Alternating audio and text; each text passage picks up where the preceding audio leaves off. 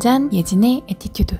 근데 강사님 요즘에 시대가 좋다는 게 이런 건가 봐요. 이렇게 그냥 뭐 이렇게 만나지 않아도 비대면으로 이렇게 강사님하고 얘기도 할 수 있고 좋은 말씀도 들을 수 있는 게 음. 저는 왜 이렇게 감동스럽죠? 저는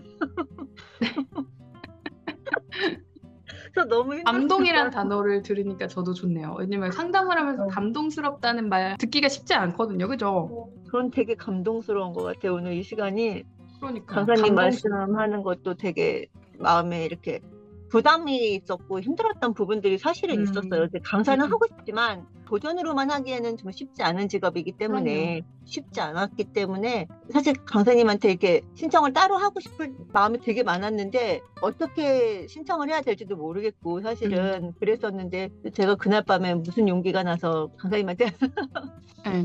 너무 좋은 것 같아요 오늘. 오늘부터는 조금 조금은 쉬워질 수 있을 것 같아요. 조금은 강사님하고 얘기를 하고 나니까 내가 어, 이익적으로 얘기를 내가 경험했던 거를 쓰면은 음. 되겠구나라는 생각이 들어서 그럼요. 어, 조금은 막막하던 내가 전문성을 막 띄워야 돼 이 생각에서 좀 벗어날 수 있게 된 것 같아요. 제 주변 동료들이 그래요. 아니 상담을 오면 내가 모르는 분야도 있을 텐데 상담을 하는 게 그게 어떻게 해요? 막 궁- 궁금해 하시거든요. 근데 저는 성격이 완벽하게 내가 이 강의의 정의부터 전문가스럽게 해야 된다는 생각이 사실은 없어요. 그리고 일단은 내가 그런 생각을 버렸어요. 내가 장애 아동 대상으로 강의하는데 전문가가 아니기 때문에 이 사람 내가 상담 못 받아. 이렇게 하지 음. 않아요. 왜냐면 제가 가지고 있는 경험과 지식만으로도 충분히 도움될 수 있는 게 있을 거라는 거죠. 한, 한 어. 가닥이라. 그러면 이 사람, 그러니까 서로가 얘기를 하다 보면요. 막 그냥 막 생각나는 게 있고요. 듣는 사람도 저랑 대화하면서 그냥 막 영감이 떠오르는 게 생긴다는 거예요. 그래서 저는 사실 분야를 막론하고 봤거든요. 제가 어느 정도 커버가 되는 분들이라 그러면.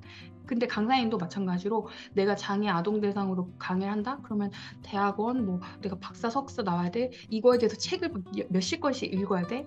물론 이런 자세는 너무 좋지만 어, 그런 걸 조금 내려놔도 돼요. 이미 나는 충분히 경험을 많이 했고 내가 가지고 있는 작은 이 경험 하나가 누군가한테 정말 필요한 정보거든요. 사실 강사님이 지금 감동이라는 단어를 써주셨지만 제가 가지고 있는 요만큼의 지식과 경험이 강사님한테 감동이 된 거거든요. 제가 막 엄청난 거를 드린 게 아니에요. 저는 그냥 정말 가볍게 제가 했던 경험과 떠오르는 그냥 저의 자유로운 의견을 강사님에게 드린 거지 상담이라는 그 단어와 어울리지 않지만 대화지만 사실은 이렇게 하면서 강사님은 너무 좋은 시간이었어요. 이렇게 느낀다는 거죠. 그거는 내가 막 전문가로서 굳이 그런 것까지 접근을 먼저 하지 않아도 조금 내려놔도 할 수 있는 것들이 되게 많을 것 같아요. 전문성을 다 갖고 있으면 좋겠지만 그렇지 않아도 할 수 있다라시는 말씀이 저한테는 되게 용기가 되고 어. 힘이 되는 것 같아요. 좋네요. 되게 좋은 것 같아요. 감사해요. 이렇게 신청하길 잘하셨네, 그죠? 도움이 네, 너무 잘한 되셨다니. 것 같아요. 화이팅 응원합니다. 잘하실 거예요. 네. 저는 너무 하실 수 있는 게 많아서 기대가 됩니다.